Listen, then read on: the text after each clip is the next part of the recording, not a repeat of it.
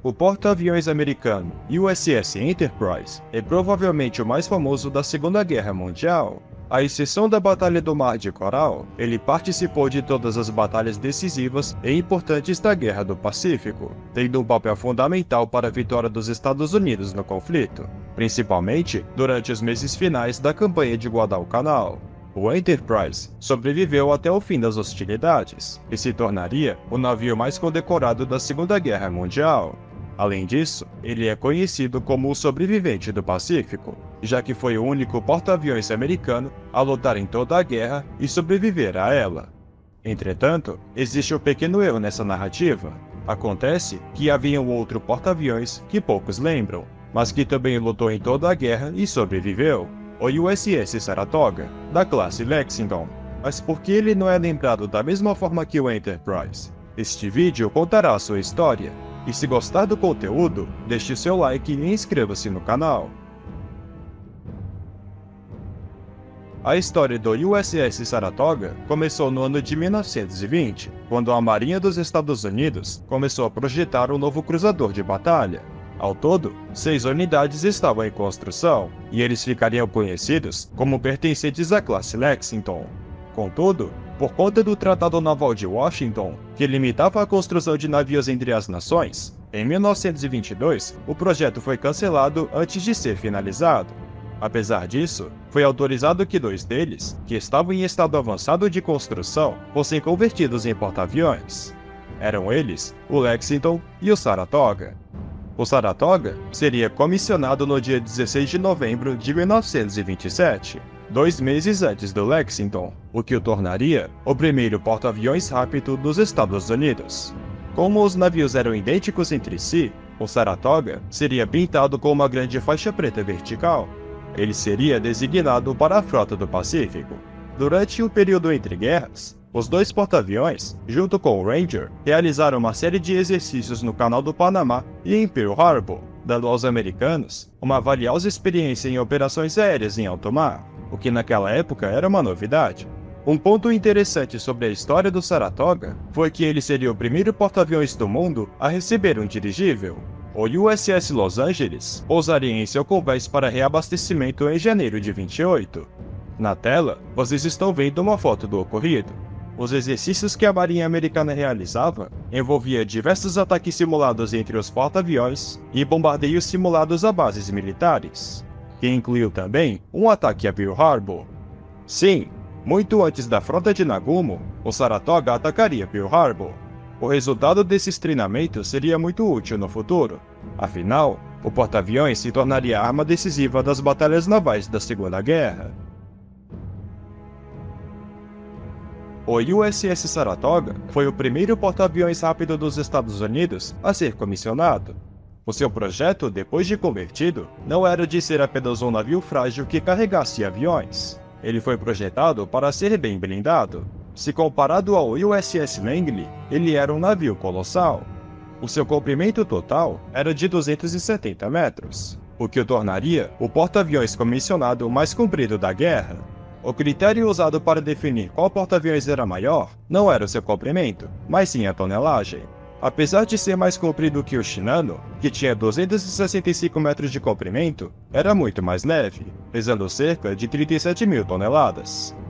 O Saratoga tinha uma velocidade máxima de 33 nós. O seu complemento era de 2.780 tripulantes. Ele podia comportar até 78 aviões, se tornando naquela época o porta-aviões que mais podia transportar aeronaves do mundo, algo que a marinha japonesa tomaria nota. O seu armamento principal era de 8 canhões de 8 polegadas, distribuídos em quatro torres. Para a defesa antiaérea, ele foi inicialmente equipado com 12 canhões de 127 mm, configuração que receberia diversas alterações durante a guerra.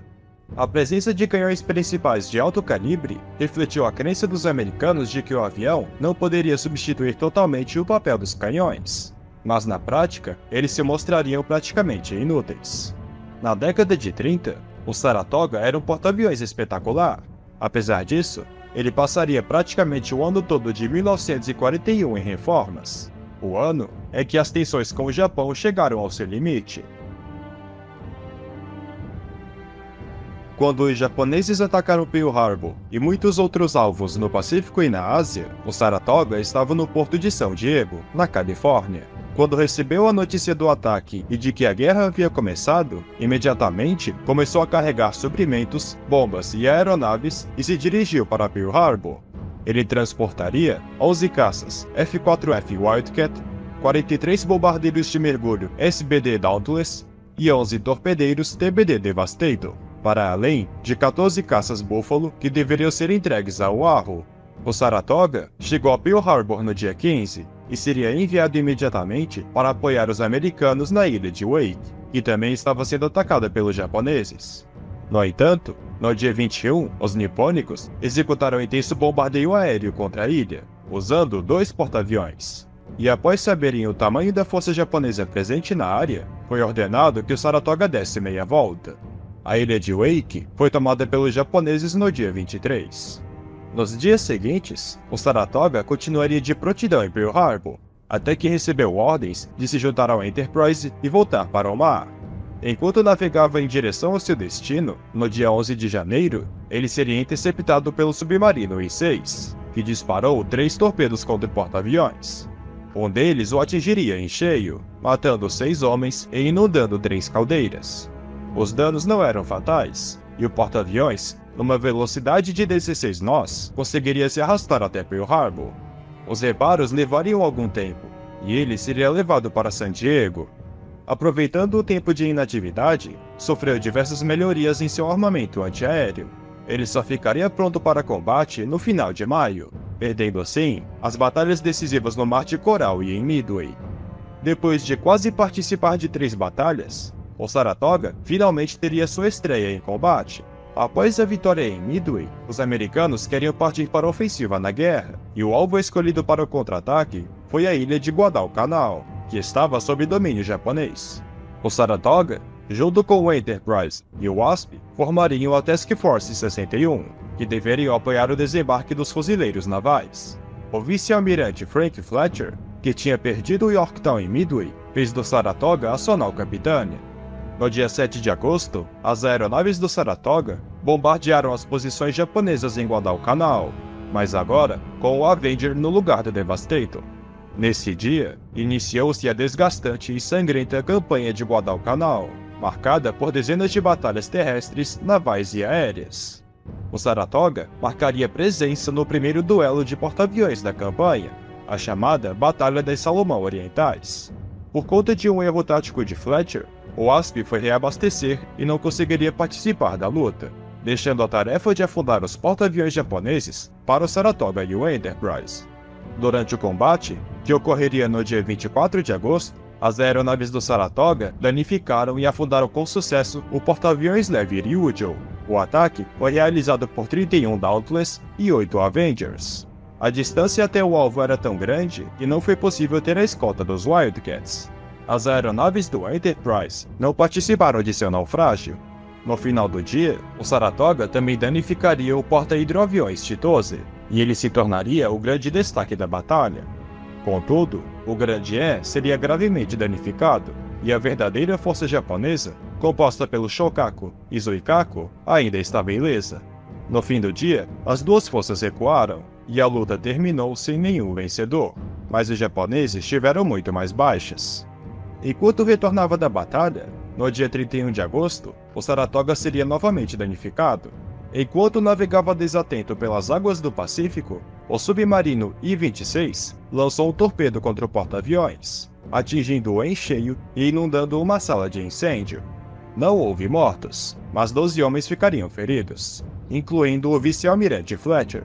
Os danos causados tinham sido mínimos, mas novamente ele retornaria a Pearl Harbor para reparos.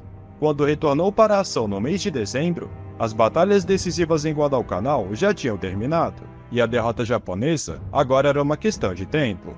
A maré da Guerra do Pacífico já havia mudado completamente, e dentre o decisivo ano de 1942, ele participou apenas de uma única batalha.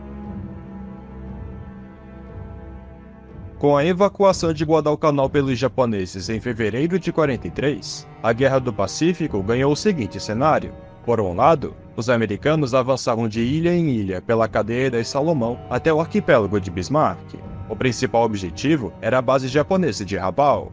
Por outro, havia também a ofensiva aliada para expulsar os japoneses da Nova Guiné. Essas operações, por serem realizadas em áreas ao alcance de bases terrestres, não eram adequadas para o uso de porta-aviões.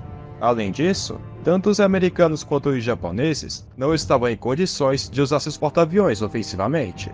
O Japão, por exemplo, a curto prazo não podia substituir seus pilotos. E além do mais, muitos grupos aéreos também tinham sido destinados para as bases em terra.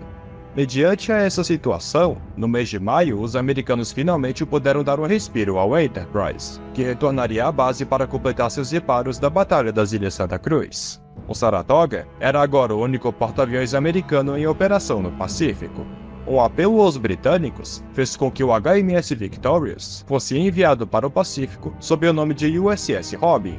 Ele e o Saratoga passaram a operar juntos na Nova Caledônia, apoiando operações dentro e ao redor das Ilhas Salomão. Uma missão de destaque do Saratoga viria no início de novembro de 43, apoiando a invasão a Bougainville ao lado do USS Princeton, Poucos dias depois, participaria do bombardeio contra Rabaul, que também seria realizado pelos novos porta-aviões da classe Essex, como o próprio Essex e o Bunker Hill, para além do porta-aviões leve Independence. As aeronaves americanas penetraram com sucesso no porto japonês, incapacitando a maioria dos cruzadores ali estacionados, fator que contribuiria de forma decisiva para o fim do poder naval japonês na região a sua participação nessas operações foi bem expressiva, e ele já estava operando o novo F-6F Hellcat. No final de novembro, o Saratoga apoiaria brevemente as forças americanas no Pacífico Central, com destaque para a ilha de Nauru. Contudo, enquanto os novos porta-aviões da classe Essex ganhavam destaque, o Saratoga ainda era praticamente o mesmo de 42.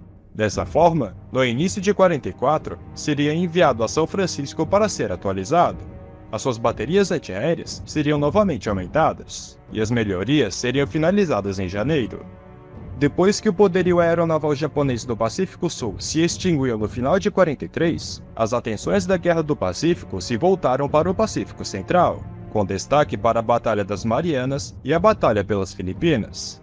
Enquanto os porta-aviões mais modernos brilhavam nessas lutas, o Saratoga passaria o ano apoiando as forças aliadas em operações menores, com destaque para os ataques aéreos no Oceano Índico ao lado dos britânicos e apoiando operações nas Ilhas Marshall. No mês de setembro, depois de mais algumas revisões, e sendo pintado com a camuflagem Master 32, ele receberia uma nova função, a de desenvolver táticas de combate noturno e treinar pilotos para operações noturnas executando essa tarefa até janeiro de 45. Em fevereiro de 1945, a nostalgia voltaria. Os Faratoga, junto com o Enterprise, partiriam juntos para uma nova operação, a de apoiar a invasão de Iwo Jima em missões de voo noturno. Ele transportava somente Hellcats e Avengers. Durante a batalha, as suas aeronaves forneceram cobertura de caça para os bombardeiros que atacavam a ilha, e durante a noite realizava diversas patrulhas com seus aviões. No entanto, a escolta do Saratoga não era muito grande, sendo composta por apenas três destroyers. No dia 21, se aproveitando desse fato e da baixa cobertura de nuvens, seis aeronaves japonesas atacaram o porta-aviões, marcando em um intervalo de 3 minutos, cinco acertos de bombas e três ataques kamikaze. A parte da frente de seu convés foi seriamente danificada, e grandes incêndios se iniciaram em seu hangar. Esse ataque levou a vida de 132 marinheiros, e 192 ficariam feridos. Quando o fogo foi controlado, o Saratoga seria enviado à costa oeste para reparos. Ainda nesse dia, o USS Bismarck Sea seria afundado por ataques kamikaze, e o USS Longa Point seria levemente danificado. Depois de ser reparado, o Saratoga foi considerado obsoleto demais em relação aos múltiplos porta-aviões que lutavam no Pacífico, e dessa forma seria designado como navio de treinamento até o fim do conflito. Quando a Guerra do Pacífico terminou, o Saratoga seria utilizado para transportar os soldados americanos de volta para os Estados Unidos, onde transportou com sucesso o incrível número de 29.204 soldados. De longe, o navio que mais transportou homens para casa de toda a guerra. Além do mais, desde que foi comissionado, ele se tornou o porta-aviões da época em que mais aeronaves pousaram em seu convés, com um impressionante número de 98.549 pousos. Por seus serviços durante a Segunda Guerra Mundial, o Saratoga ganharia oito estrelas de batalha, mas por ser considerado velho demais, foi escolhido como alvo para diversos testes nucleares no atol de Bikini, nas Ilhas Marshall. O objetivo dos americanos era de avaliar o efeito das bombas atômicas em navios, e no dia 1 de maio de 1946, o Saratoga partia da Califórnia para sua viagem final em direção ao Pacífico. Depois de ser submetido a dois testes nucleares, o Saratoga afundou no dia 25 de julho, a explosão gigantesca sacudiu com força o porta-aviões, que fez a sua chaminé simplesmente saltar do navio. É de partir o coração ver um navio com uma história tão extensa e impressionante ter o seu fim dessa forma. Por que o Saratoga não é tão lembrado quanto o Enterprise? Primeiramente, vamos lembrar que o ano mais importante da Guerra do Pacífico foi 1942. Isso porque foi o palco de todas as batalhas navais decisivas que mudaram o rumo do conflito. Quatro das cinco batalhas de porta-aviões da guerra aconteceram em 42. E como vimos nesse vídeo, o Saratoga passou quase o ano todo nas docas para reparos. Quando ele tentava participar de uma batalha, um submarino japonês o atingia, e enquanto isso, o Enterprise marcava presença nos combates desde fevereiro. De certa forma, os submarinos japoneses acabaram com a história do Saratoga em 42.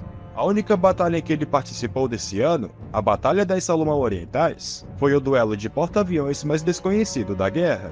Quando estudamos as conhecidas batalhas do Mar de Coral e a Batalha de Midway, não vemos o nome Saratoga. Quando ele finalmente estava pronto para a ação em 43, as batalhas navais de porta-aviões acabaram dando uma pausa. O Saratoga foi um azarado que tentou participar de várias batalhas, mas não conseguia. Quando os grandes combates navais retornaram em 1944, o brilho ficou para a classe Essex, e o Saratoga seria enviado para missões secundárias. Mesmo assim, o seu esforço durante a Segunda Guerra Mundial não deve ser esquecido. Sem sombra de dúvidas, ele foi um heróico navio que sobreviveu nas águas turbulentas do Pacífico desde Pearl Harbor, feito que, além dele, somente o Grande E conseguiria realizar. Gostou desse vídeo? Não se esqueça de se inscrever no canal para não perder os próximos conteúdos. Eu vou ficando por aqui e até a próxima.